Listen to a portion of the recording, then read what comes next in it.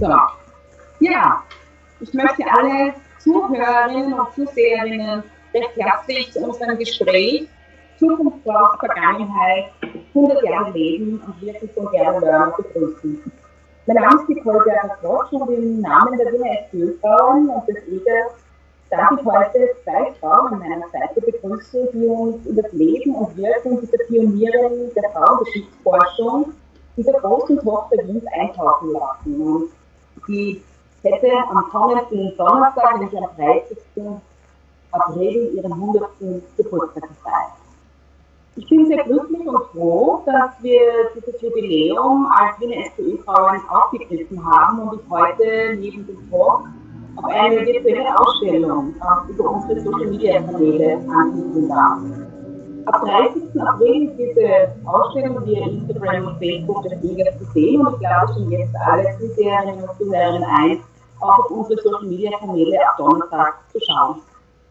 Die Veranstaltung wäre ja ursprünglich in den Räumlichkeiten unseres Frauenkommunikationszentrums EGA geplant gewesen, eine Podiumsdiskussion mit Publikumsbeteiligung und eben die Ausstellung in der EGA Art Lounge. Nun haben wir beide in den virtuellen Raum transferiert und ich möchte jetzt gleich zu Beginn vier wunderbare, starke Frauen äh, vor dem Vorhang wohl Ihnen danken, die diesen Abend gemeinsam geplant haben. Danke sehr herzlich äh, für die Kooperation und die wunderbare Zusammenarbeit und möchte da beginnen bei dir, liebe Hildegard, Magister, Magister Hildegard Deger-Mauhofer vom Frauenstudienzirkel. Sehr herzlich willkommen, du bist heute eine der Gesprächsteilnehmerinnen und ich sage dir auch richtigen Dank für die Vorbereitungen und begrüße dich recht herzlich. Danke. Ich möchte mich weiter sehr aufrichtig bedanken und heiße Sie auch recht herzlich äh, willkommen in dieser Runde. Sie ist auch eine der Gesprächsteilnehmerinnen. Äh, herzlich willkommen und danke auch dir, Magister Andrea Holzmann, die ist die Verfechterin der politischen Biografie von Gerda Werner. Vielen Dank und herzlich willkommen, Andrea. Dankeschön. Weiters möchte ich äh, mich bedanken bei meiner Kollegin im EGA, Magister Barbara Mittlinger, bei Magister Barbara Hoffmann vom Renn-Institut, die uns auch das Archiv schon liest für die Ausstellung und danke auch an die Wiener Bildungsakademie, äh, hier auf der Sonne Berg Herkel für den technischen Support heute Abend. Schön, dass so viele via Videokonferenz bzw. Facebook Livestream äh, dabei sind. Es ist möglich, hier einzusteigen äh, zur Konferenz und hier direkt im Chat Fragen stellen, aber auch über den Livestream in den Kommentaren Fragen zu posten. Meine Kollegin Barbara und ich werden uns sehr bemühen, alle Fragen äh, zu berücksichtigen und sie auch aufzunehmen in die Gesprächsrunde. Bevor ich nun den beiden äh, Gesprächsteilnehmerinnen das Wort übergeben darf nacheinander, möchte ich ganz kurz einen kleinen Abriss äh, über die Person, das Wirken des Lebens von Gerda Wörner hier zum Besten geben, sie reiht sich ein, eine der großen Töchter Wiens, also Wien gedenkt ihrer hat ihrer schon mehrfach gedankt und gedenkt. Äh, die, ähm, eine Sache, wo ich immer wieder auch als Gemeinderätin und Landtagsabgeordnete vorbeigehe, ist die Tafel im Makabenhof im Rathaus, wo ich immer wieder auch zurückdenken muss, Andrea, wie wir auch mit der Tochter vor Ort waren und viele andere Wegbegleiterinnen und äh, Frauenpolitikerinnen, Feministinnen und hier diese Anbringung, äh, diese Anbringung beigewohnt haben. Äh, es wurde 2016 der Gerda Lörnerhof äh, ihr benannt. Es gab auch äh, die Benennung eines Parks 2017 im Gerda Lörner Park. Das sind so einzelne äh, Maßnahmen, äh, Eckpunkte, die Wien äh, auch machen kann und äh, getan hat, um äh, ihre zu würdigen. Aber mehr dazu dann eben auch noch bei Andrea und Hildegard. Gerda Lörner, wie gesagt, am 30. April 1920 in Wien als Gerda Kronstein geboren, wuchs in einer gutbürgerlichen, jüdischen und unkonventionellen Familie auf. Schon in ihrer Schulzeit war sie politisch aktiv. Sie wurde 1938 mit ihrer Mutter mehrere Wochen in Gestapo-Haft äh, genommen und nach der Entlassung und der Ablegung ihrer Reiseprüfung flüchtete sie 1939 ohne Eltern in die USA. In New York führte sie die in Wien begonnenen Betätigungen in linken antifaschistischen Kreisen fort und war Mitglied der Kommunistischen Partei. Sie zog dann mit ihrem zweiten Mann 1941 nach Los Angeles, erhielt 43 die US-Staatsbürgerinnenschaft und zog dann mit ihrem Mann und ihren Kindern aufgrund der Verfolgung von Kommunistinnen in der McCarthy-Ära zurück nach New York. In den 1940er und 1950er Jahren schrieb Lerner Kurzgeschichten, Drehbücher und Romane, unter anderem auch 1955 den Roman No Farewell, der sich mit Wien in der Zeit vor dem Anschluss beschäftigt. Sie engagierte sich in der Frauenrechtsorganisation Congress of American Women und arbeitete hier mit armutsgefährdeten schwarzen Frauen zusammen. Dadurch begann sie mit der, sich mit den Interdependenzen von Race, Gender und Klasse auseinanderzusetzen, Themen, die ihre späteren historischen Arbeiten prägten. Im Zuge des Schreibens eines historischen Romans interessierte sie mit 38 Jahren die Geschichte und nach dem erfolgreichen Abschluss äh, des Studiums, sie dissertierte über die weißen Pionierinnen äh, der Bewegung gegen die Sklaverei, begann sie 1968 am Sarah Lawrence College in New York zu unterrichten. Dort unterrichtete sie ein Masterprogramm in Frauengeschichte ein, das bis heute besteht. Und 1980 wurde sie Professorin an der University of Wisconsin, wo sie das erste US-amerikanische PhD-Programm in Frauengeschichte etablierte. Gerda Lerner starb am 2. Jänner 2013 in Madison, USA und es sind viele Zitate von ihr überliefert und Hildegard wird uns da genauer äh, davon unterrichten, aber ich möchte gleich mit einem an Hildegard äh, übergeben, nämlich äh, eines, was mich sehr auch in meiner Arbeit in der Sozialdemokratie, aber auch für die Frauen in dieser Gesellschaft trägt, nämlich jede Frau ändert sich, wenn sie erkennt, dass sie eine Geschichte hat. Bitte, liebe Hildegard Steger-Mauerhofer, um deine Worte. Vielen Dank, Nicole. Ja, ich möchte äh, festhalten, dass ich äh, den Frauenstudienzirkel im EGA 2007 äh, gegründet habe. Das war auch äh, mit deiner Hilfe, Nicole. Und äh, das war das Anliegen von Gerda Lerner, das feministische Anliegen, jede Frau sollte mindestens ein Jahr lang Frauengeschichte studieren, egal was sie sonst macht.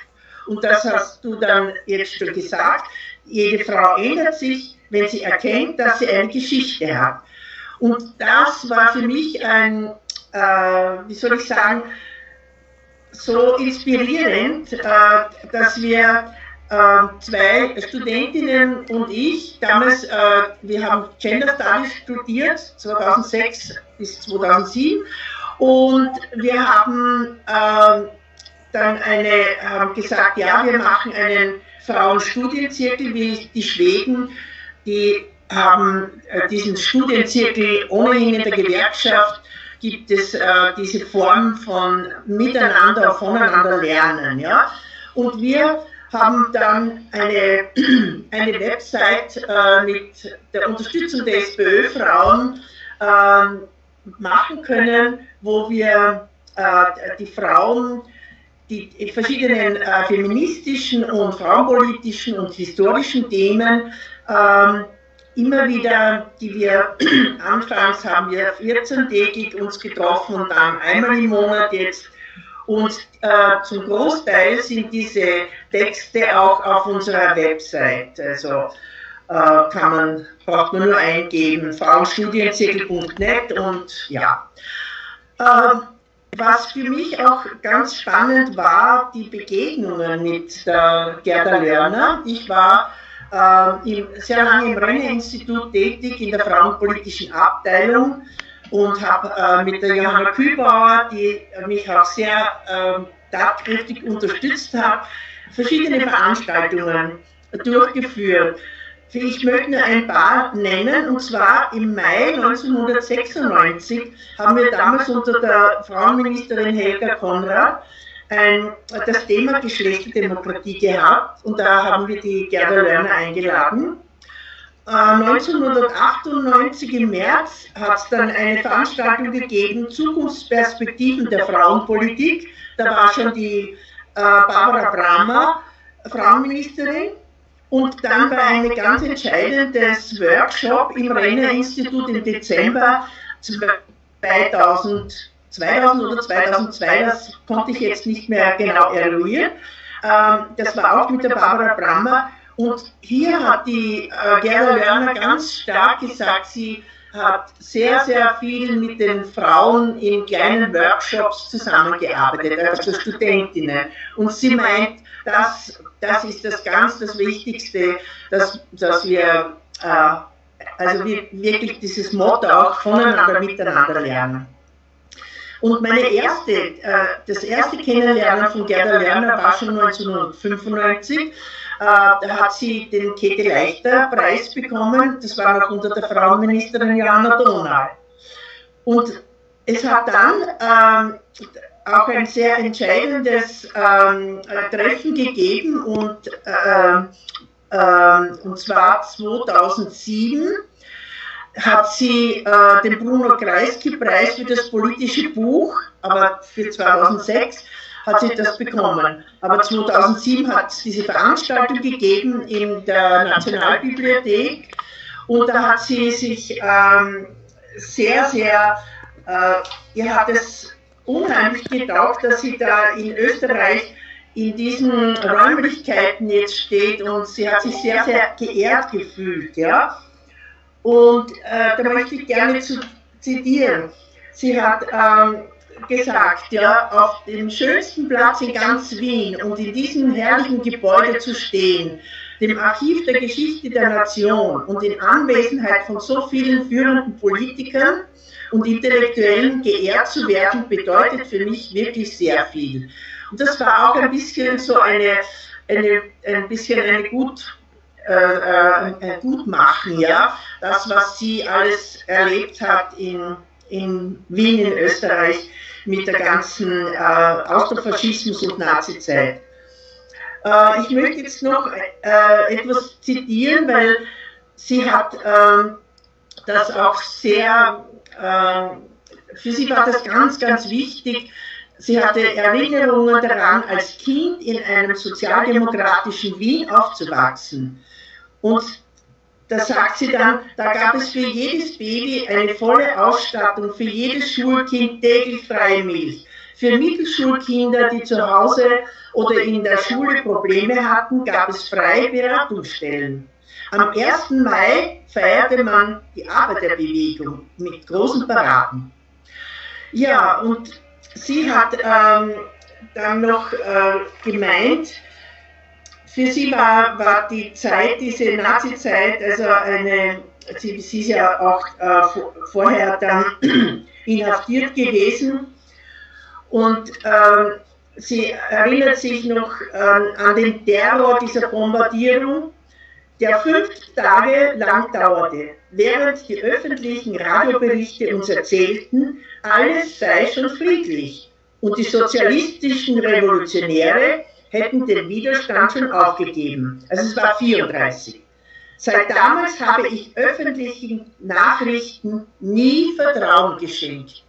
Das ist für uns heute auch sehr interessant, diese Aussage. Äh, insofern, dass man immer auch kritisch diese öffentlichen Nachrichten äh, betrachtet. Und im nächsten Jahr, sagt sie, habe ich ähm, die, äh, illegale Zeitungen verteilt und habe eine Familie durch Rote Hilfe unterstützt. Es war für sie der Verlust der Demokratie damals und die vier Jahre, die ich unter dem Austrofaschismus lebte, die haben mich lebens, lebenslang zur politischen Aktivistin gemacht. Also ich finde, das ist äh, eine, eine, ganz tolle Sache und ihre ganze Arbeit äh, wie sie die, die Bücher geschrieben hat, die Entstehung des Patriarchats oder das feministische Bewusstsein. Äh, ich finde, sie ist eine wirklich überall durchdrungen mit diesem Aktivismus. Ja, und äh, diesbezüglich ähm, mit, diese, mit diesen kleinen Zitaten aus der Preisrede damals beim, zum äh, Bruno Kreisky-Preis möchte ich jetzt der Andrea das Wort geben. Ja, danke schön. Also für mich ist es eine große Ehre und Freude, da mit euch ein paar Erinnerungen an die Gerda zu teilen. Auch über dieses Medium, was die Gerda wahrscheinlich äh, leichter gehandhabt hätte als ich, weil unsere Zusammenarbeit hat seinerzeit so begonnen, dass sie gesagt hat, wir machen das über Skype. Das war 2007. Ich hatte keine Ahnung, was Skype ist. Und sie, was, Sie kennen kein Skype? Da war ich 90 Jahre alt damals. Wahnsinn, ja. Ja, ähm, ja also ich, ich freue mich sehr, dass wir das jetzt machen, auch unter diesen Bedingungen. Und ich denke, wir erfüllen ja quasi auch einen Auftrag der Gerda, indem wir da Frauen sichtbar machen und uns wichtiger Frauen erinnern, der Frauengeschichte erinnern, der Frauen die Geschichte gemacht haben. Und das tun wir so mit. Ähm, ja, ich, ich habe jetzt, ihr habt jetzt schon ein bisschen erzählt über Ihren Lebensweg und über Ihre Auftritte in Wien, die ich ja auch zum Teil miterlebt habe. Ich muss sagen, ich bin seit langem ein Fan von ihr gewesen. Ich erinnere mich noch, wie sie da mit blitzenden Augen gestanden ist in einem bunten, schönen, wallenden Gewand und den Vortrag gehalten hat oder eben aus diesem Auftritt in der Nationalbibliothek. Die Rede ist ja, glaube ich, heute noch nachlesbar. Die ist ja. empfehlen. Das ist eine wunderbare Rede gewesen. Und äh, äh, ja, und ihre Bücher habe ich verschlungen. Ich habe jetzt erst vor kurzem wieder das, den Stehen des Patriarchats hervorgeholt. Das habe ich vor 20 oder 30 Jahren gelesen, ich weiß nicht mehr wann.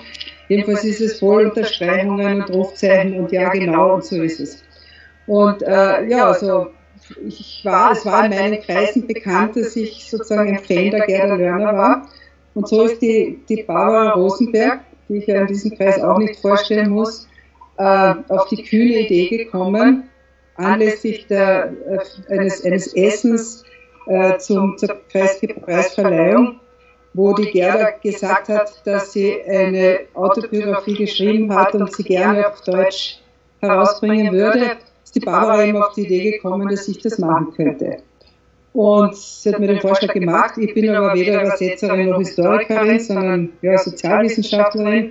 Ähm, aber es war so, dass einmal zunächst kein Geld da war für die Übersetzung und das hat mich ermutigt, weil mir gedacht ich mache es sowieso, mir wäre es eine Ehre und habe mich dann ganz kühn ans Werk gemacht und habe zwei Kapitel übersetzt und habe es der Gerda geschickt.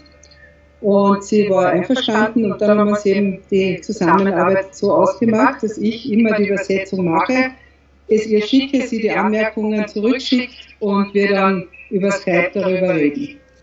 Und so ist es dann auch abgelaufen. Also ich bin nicht die alleinige Übersetzerin, weil äh, Gerda hat zwar äh, sehr lange nicht mehr Deutsch gesprochen und war nicht mehr grammatikalisch nicht mehr ganz sicher. Also sie hat mich oft gefragt, kann man das so sagen?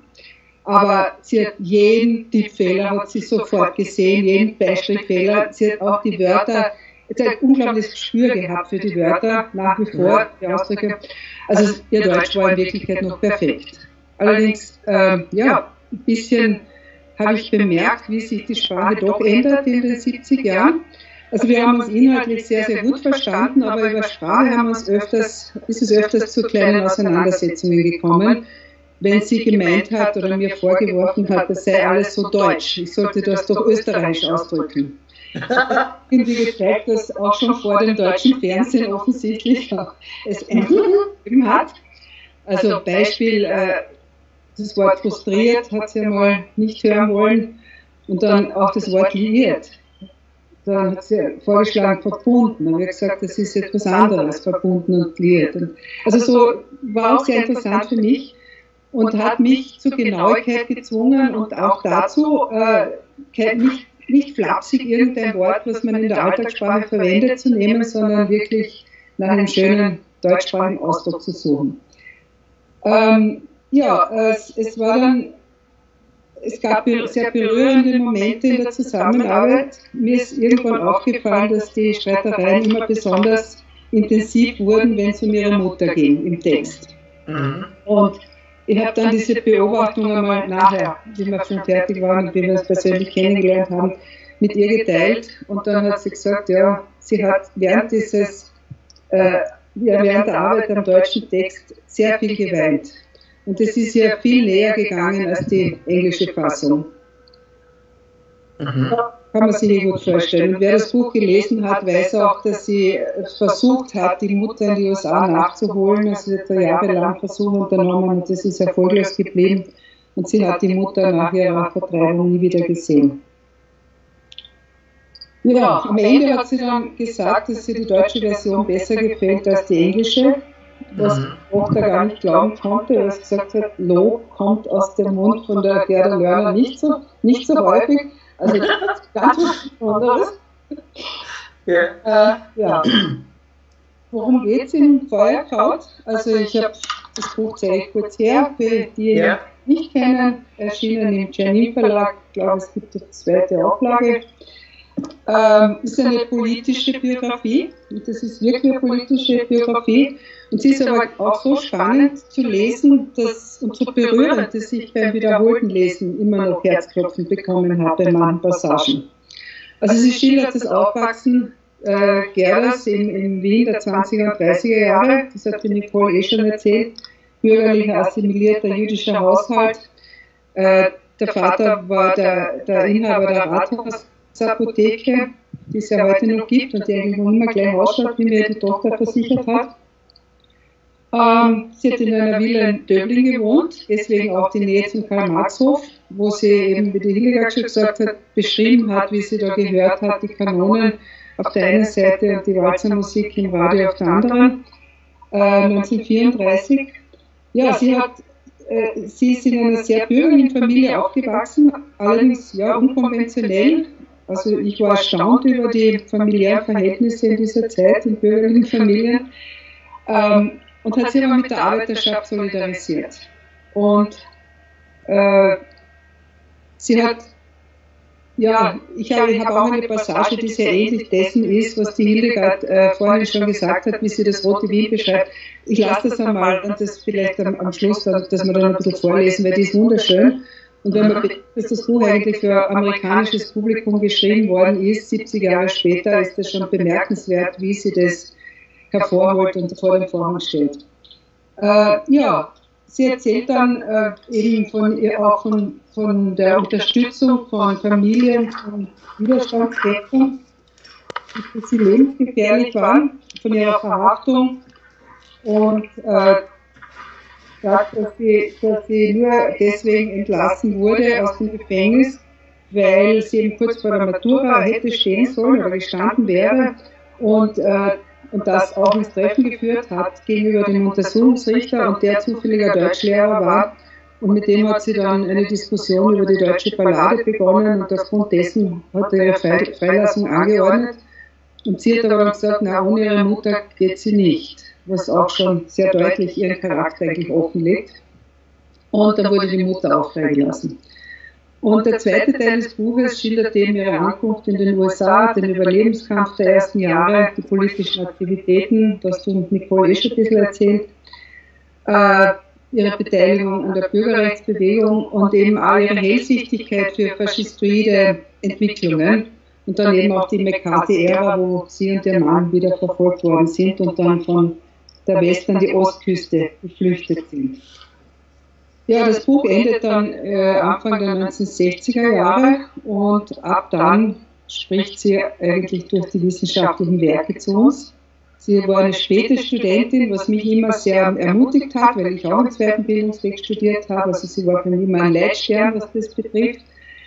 Ähm, sie hat sehr, sehr schnell hat sie studiert, sie ist sehr schnell zur Professorin geworden, also 1968, glaube ich, hat sie die Professur schon bekommen, hat dann 1972 den ersten Masterstudienlehrgang Frauenstudien, also Women's Studies, mitinitiiert. Und äh, 1980, da war sie schon 60 Jahre alt, hat sie in Wisconsin, ist sie nach Wisconsin gezogen, alleine, und hat dort das Doktoratsstudium aufgebaut, das weltweit erste. Mhm. Ähm, ja, also die hat Gerhard, was mir halt, wie gesagt, ich bin keine Historikerin und ich hoffe, dass die wissenschaftliche Veranstaltung, die wir angedacht haben, im Herbst dann wirklich stattfindet, wo es dann um wissenschaftliche Auseinandersetzungen geht. Aber äh, für mich war, war besonders interessant, dass sie beschrieben hat, wie es zur Arbeitsteilung von Frau, zwischen Frauen und Männern gekommen ist, historisch, und dass die äh, also früher mal ganz funktional war wie das Überleben der Sippe noch abhängig war von Muttermilch und Mutterwärme, war das sinnvoll, dass die Frauen geschützt sind und die Männer, die quasi die Außenarbeit leisten.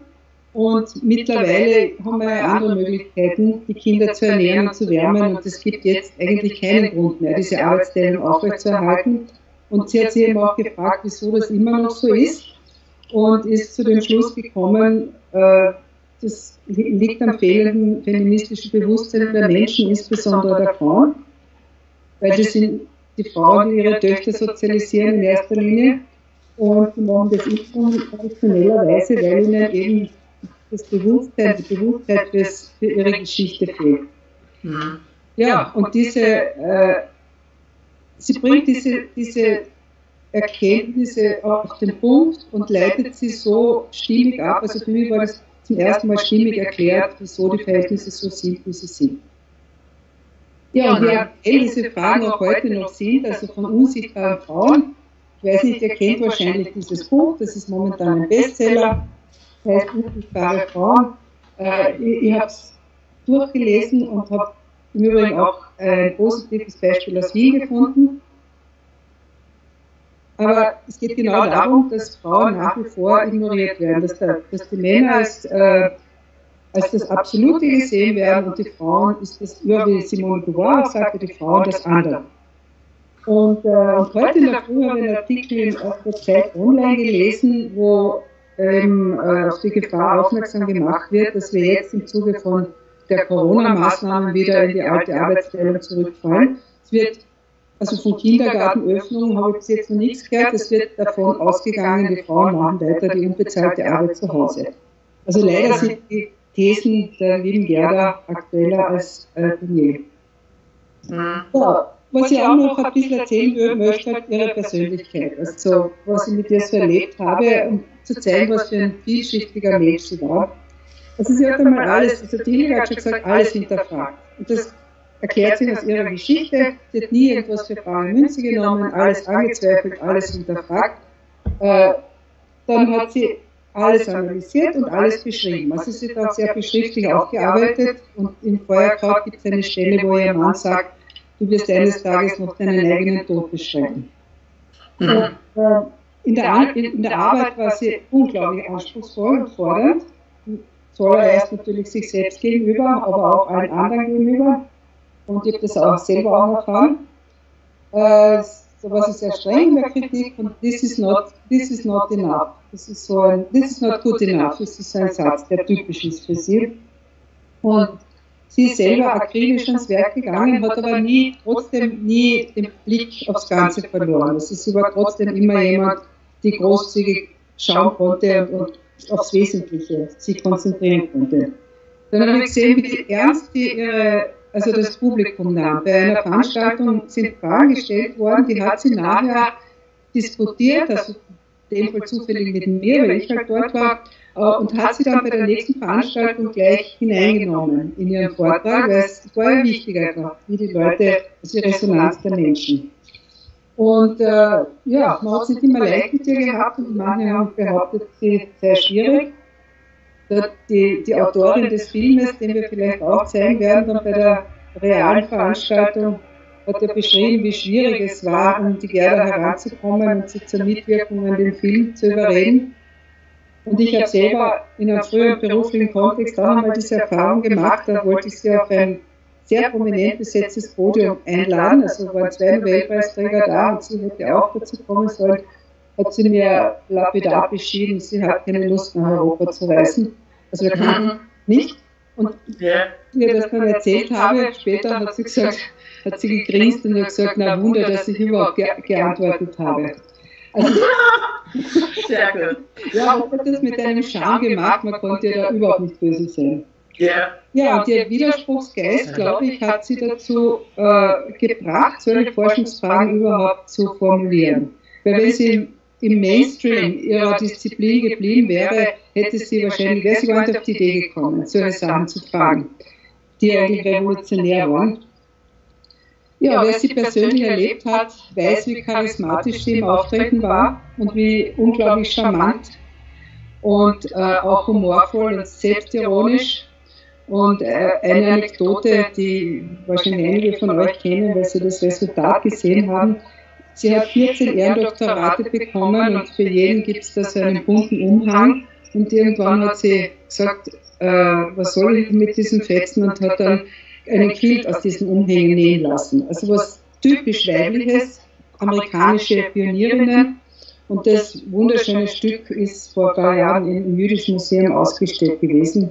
Da gibt es wahrscheinlich bei der Ausstellung ein Foto davon. Aber das ist typisch, ganz typisch Gerda, würde ich einmal sagen. Ja, ja äh, zum Schluss noch, also sie war 2009 eben zur Präsentation des, der deutschsprachigen Ausgabe von Feuerkraut in Wien. Da war noch die Barbara Bramer, die der ersten Präsentation vorgesessen ist, und dann der Alfred Kusenbauer, der eine sehr schöne Laudatio auch gehalten hat auf sie, der zweiten. Da ist sie dann leider sehr, sehr schwer erkrankt. Und zwar so, dass man mir im Spital gesagt hat, ruft die Verwandten sofort, das dauert nicht mehr lang. Und da sind dann neben Sohn und Tochter gekommen und mit der Tochter verbindet mich aus dieser Zeit eine Freundschaft bis heute.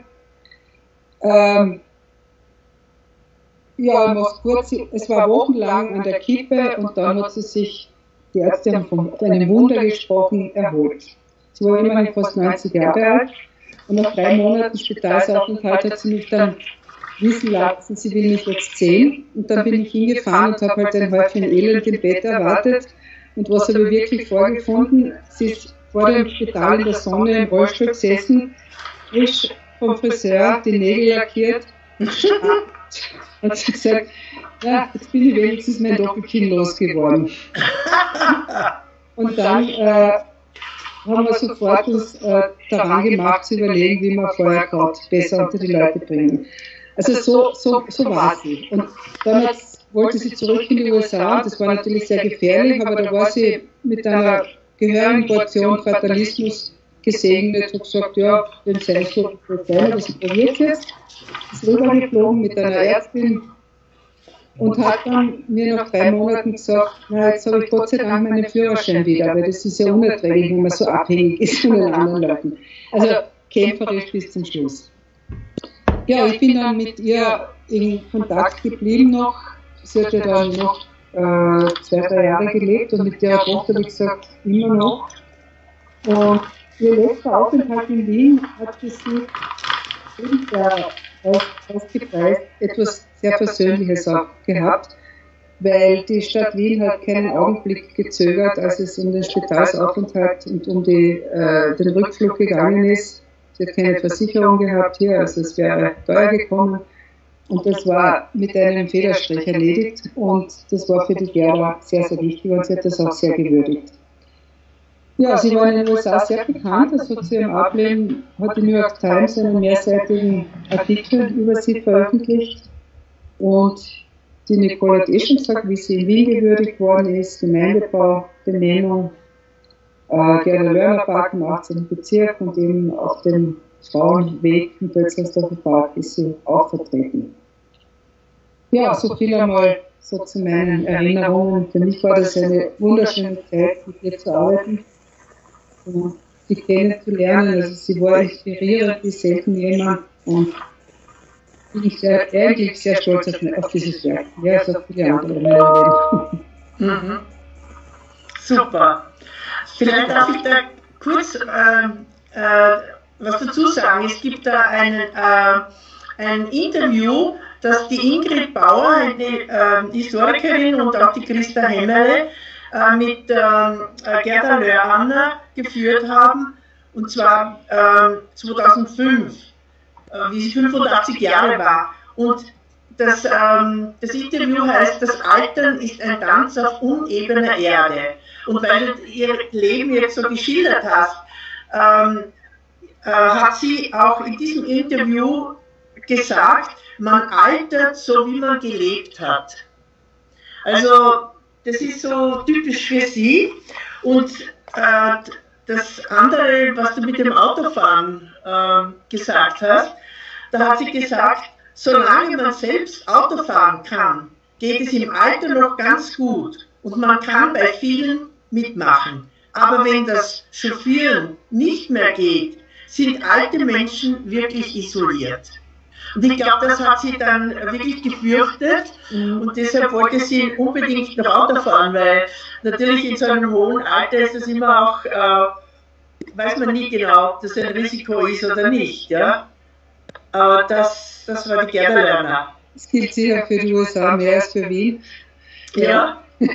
Wir haben Öffis. Ja. Aber das stimmt schon, ja. Ja. Du hast nur jetzt gesagt, dass du ähm, etwas zitieren willst zur Sozialdemokratie in Wien. Ja. Das wäre vielleicht ganz gut, ha?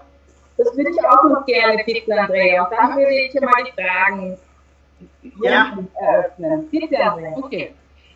Die Sozialdemokraten kannte ich wegen ganz konkreter Dinge. Österreich war seit 1918 eine parlamentarische Demokratie. In vielen Bundesländern war die klerikale Partei stark und hatte seit dem Jahr, in dem Hitler in Deutschland an die Macht gekommen war, noch weiter an Stärke zugelegt.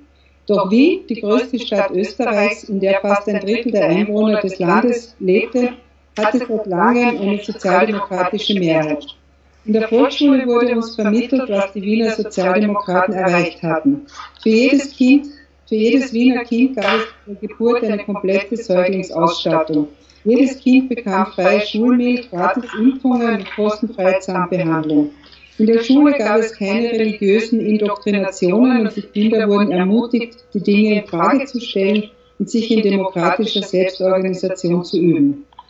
Aber die größte Errungenschaft der Wiener Sozialdemokraten, jene, die sie mit dem meisten Stolz erfüllte, waren ihre Bauten.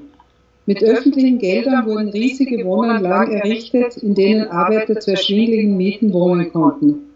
Diese Arbeiterwohnbauten waren der ganze Stolz Wiens und jeder ausländische Besucher musste den größten und schönsten, den Karl-Marx-Hof, besichtigen.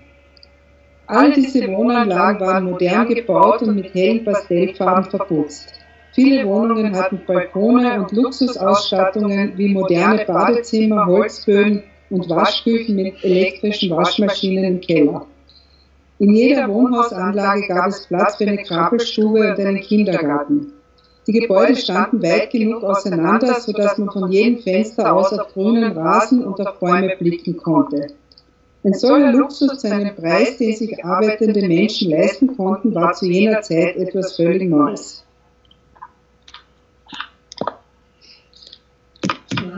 Wurde übrigens in den USA kopiert. Ich habe mal im Zuge einer Exkursion in New York einen Bau gesehen, den habe ich fotografiert und den allen Wienern gezeigt haben und jeder hat geglaubt, dass der in Wien steht. Und der wurde nach Wiener Vorbild damals in den 30er Jahren von einer Arbeiter-Eisenbahner-Gewerkschaft da in New York City errichtet. Mhm. Ja. Vielen, vielen Dank, Hildegard und Andrea, fürs Eintauchen lassen in das Leben, in ihr Wirken, in ihr Sein, in ihre Person, also hinter diesen vielen wunderbaren, so wichtigen Werken auch für die Frauen in, dieser, ja, in diesem Land, in Amerika, überall auf der ganzen Welt. Also ganz wichtige Standardwerke, die man auf jeden Fall äh, gelesen haben muss. Und ich möchte mir gleich äh, Fragen, die über Facebook uns erreichen, äh, überleiten, nämlich es würde auch mich interessieren. Sehr viele Besucher in Wien äh, absolviert, immer wieder gekommen, Ehrungen entgegennehmen können. Wie war denn Ihre Beziehung zu Wien? Wie hat sie Wien gesehen? Wie hat sie das äh, miterlebt? Wie Frauen hier vor den Vorhang geholt wurden? Hat sie uns auch stark kritisiert, Österreich, äh, dass wir nachlässig wären, um, um Frauen vor den Vorhang zu holen, sie zu würdigen, etc. Also, wie, wie, wie hat sie Wien gesehen? Wie war ihre Beziehung? Wie hat sie generell diese Frauen vor den Vorhang holen gesehen? Vielleicht Andrea? Ja, also explizit hat sie sich zu dem Thema nicht geäußert, aber sie hat, äh, ich glaube, eh bei dem Vortrag in der Nationalbibliothek hat sie vorgehoben, wie unglaublich großartig es ist, dass eine Regierungspartei, damals waren wir noch Regierungspartei, äh, eine politische Akademie hat, die sich mit solchen Themen beschäftigt, also außerhalb der Tagespolitik und äh, also Bücher Bücher ehrt oder Werke ehrt oder so. Also sie hat gesagt, das ist einzigartig auf der Welt. Das weiß ich jetzt. Sonst kann ich das jetzt eigentlich nicht weiter beantworten. Ja, ich, ich, könnte vielleicht ein Zitat daraus von dieser Preisrede. Soll ich das? Nicole, ja? Bitte, ja? Ja, Wien war für mich von Kindheit an immer mit dem Begriff der Schönheit und Harmonie verbunden. Das Zusammenkommen von verschiedenen Kulturwelten, die herrlichen offenen Plätze, umgeben von barocken Gebäuden, das Feiern und Ehren künstlerischen Talentes. Und dann natürlich Haydn, Mozart, Beethoven, Schubert, auf ewig und immer, deren Genie einem in den dunkelsten Zeiten Mut und Kraft gibt, die schöpferische Spielfähigkeit der Menschen als Quelle der Lebensbejahung zu erfassen. Ich glaube, das drückt es ganz gut aus, wie sie Wien gesehen hat und auch ähm, geliebt hat. Ja, vielen Dank. Vielen Dank. Ähm, Alexander, der diese Frage gestellt hat, erst über Facebook, wie äh, die Beziehung Gerdas zu Wien war, hat generell auch gefragt, ebenso auch der Peter, wie kann es sein, dass von Gerda Lörner noch nichts gehört hat? Also er hatte äh, sicher was versäumt, während Alexander, auch Peter sagt, er hat sich sehr viel mit dem jüdischen Wien beschäftigt. Äh, wie kann es sein, dass er und eben auch Alexander von Gerda Lörner noch nichts gehört haben? Was haben wir da als Wien oder als Partei oder als, als Österreich äh, vielleicht noch verabsäumt und was müssen wir da dazustellen? Also möglicherweise wurde sie bei uns mehr als Historikerin und Feministin rezipiert, denn als, als Emigrantin. Äh, das war natürlich ein ganz wichtiger Aspekt, aber ich habe sie auch einmal zunächst kennengelernt durch ihre Werke. Und dann habe ich erst erfahren, dass sie eigentlich aus Österreich kommt und unter dramatischen Umständen von hier weg musste. Und dass sie sich auch, sie war ja auch eine assimilierte Jüdin, also sie hat, oder wenn ich jetzt von, von ihrer Tochter, die ich ja mittlerweile besser kenne, als ich die Gerda gekannt habe, äh, auf die Gerda schließe, gab es nicht viel, äh, wie soll ich sagen, also sie war nicht religiös, sie war überhaupt nicht religiös. Und sie hat es natürlich das war Teil ihrer Geschichte, aber sie hat selber nicht so in den Vordergrund gestellt. Aber wie gesagt, damals bei der, da gab es eine Ausstellung im Jüdischen Museum über Wissenschaftler, Wissenschaftlerinnen, die vertrieben wurden oder Leute in der Wissenschaft. Und da war, da war sie schon präsent. Dankeschön. Eine weitere Frage erreicht uns von Irene, die fragt, ähm, oder auch betont, wie schön es ist, wie toll es ist, dass wir das Thema aufgreifen und sie hätte gerne über die Mutter von Gerda Lörner äh, noch ein bisschen mehr erfahren. Sie war eine Künstlerin, fragt äh, Irene. Könnte jemand von euch noch ein bisschen was über die Mutter vorstellen, noch berichten? Ja, sie war eine Malerin, also im, im Feuerkraut wird, wird sie eigentlich sehr ausführlich beschrieben als sehr, sehr künstlerische Person, die eher mit Haushalt nicht so viel am Hut hat und äh, und zwar und dann auch in der, im Exil eigentlich ein Leben auf sich nimmt, das von wirklich großer Armut geprägt war, nur um ihre Kunst ausüben zu können. Und die ist leider sehr bald gestorben. Ich glaube, sie ist ungefähr nur 50 geworden. Mhm. Es, es, hat vor einigen Jahren eine Ausstellung ihrer Werke im Jüdischen Museum gegeben und da gibt es auch einen Katalog dazu. Ja. Aber natürlich, ich habe sie nicht gekannt und ich weiß auch von ihr nur das, was in, im Feuerkraut drinnen steht. Aber sie muss eine schillernde Person gewesen sein, hochinteressant. Und äh, wie gesagt, die Gerda hat, äh, es war ein, ein großes Leid in ihrem Leben, dass sie die Mutter nicht zu sich holen konnte und dass sie sie nicht mehr gesehen hat. Danke, Andrea. Hildegard, möchtest du da noch was dazu stellen? Ja, also äh, zu dem Bereich jetzt nicht, zu, zur Mutter. Äh, ich hätte noch eine Frage äh, über Facebook. Äh, wie können wir Gerda ähm, Aktivistinnen tun? Nämlich, sie war von klein auf politisch aktiv in der Partei, in der Frauenrechtsbewegung, Frauenschutzforschung, hat viele äh, Organisations für Frauen, für Women äh, mitgegründet. Ähm, was könnten wir das, wenn wir das transferieren in die Zeit jetzt auch, wenn wir hier Corona-Zeit hernehmen, äh, viele Beschränkungen, äh, Demokratie, äh, problematische äh, Beschränkungen äh, auf uns lasten, wie könnten wir das, was Gerda gelebt hat, geschrieben hat, gesagt hat, wie sie gewirkt hat, äh, in Jetztzeit transferieren, äh, den jungen Frauen und generell den Frauen draußen auch mitgeben, nämlich auch was das ganze politisch Aktivsein äh, betrifft. Jetzt ist es auch ist schon so eine Aussage, äh, die ja, ich mir schon auch notiert habe. Mhm. Ja, dazu möchte ich ganz kurz sagen, also für sie war eben äh, diese Wichtigkeit von Frauengeschichte und diese Emanzipation und der, äh, die Veränderung dieser patriarchalischen Gesellschaft. Und das wäre für heute äh, mit dem Stichwort halbe halbe, ja.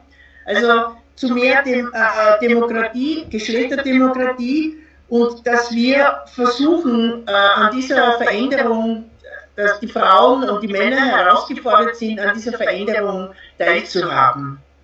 Sie sagt zwar, äh, die Frauen, äh, die haben das internalisiert oder sind indoktriniert äh, von diesem Patriarchat. Und wenn einem das aber bewusst wird, ja, dann hat man die Chance, die Möglichkeit, ähm, neue Schritte äh, zu setzen, eben, ich sage es jetzt noch einmal, äh, auf den Weg zu einer Geschlechterdemokratie zu kommen. Und da sind wir alle herausgefordert.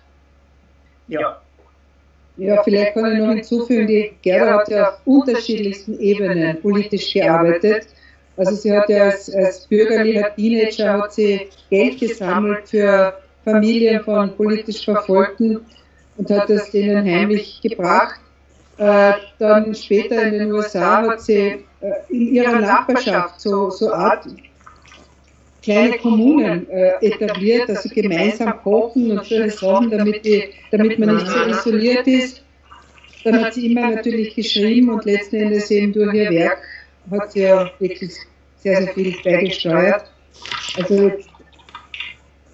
der Aktivismus waren so die ersten Jahre und nachher hat sie sehr eben auf der Ebene des Intellektuellen gemacht.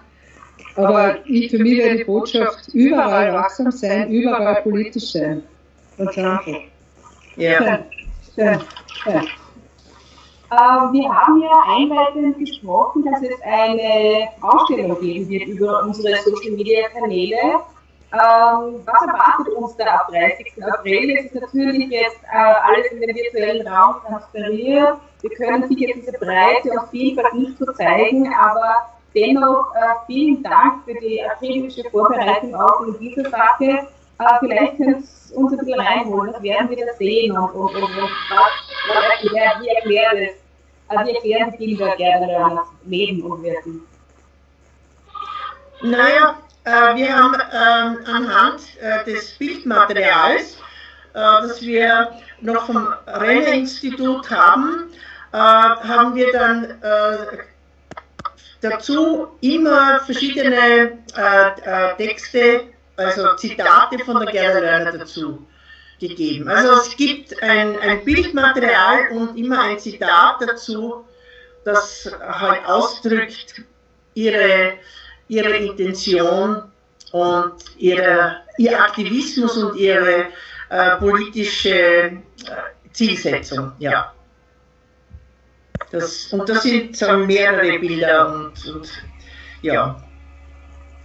War sicher auch sehr bewegend, sich da hinzusetzen und diese Bilder auch herzuholen. Auch eben einerseits, man liest so viel, man kann dann die Zitate, die äh, Ausführungen dann auch verbinden mit den Bildern das ist sicher eine runde Sache, äh, die hier äh, entstanden ist und die wir euch, liebe Zuseherinnen und Zuhörerinnen, ja auch teil, ja, die auch hier teilnehmen lassen wollen, indem wir heute eben mit dem Gespräch mit euch beiden, aber eben auch dazugestellt mit den Bildern dieses Bild einer so großen Pionierin, einer so großen Tochter Wiens einfach komplett machen wollen.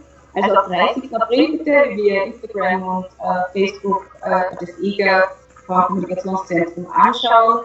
Und ja, Andrea, du hast schon von Herbst gesprochen, wo wir noch weiteres äh, vorhaben. Was ist da so in der Pipeline? Vielleicht kannst du es da auch noch ein bisschen hereinholen. Ich glaube, das weiß die Hildegard besser als ich. Okay. Dann dann richte die Frage Hildegard, bitte. Ja, äh, wir, wir waren schon äh, zusammen in der Vorbereitung.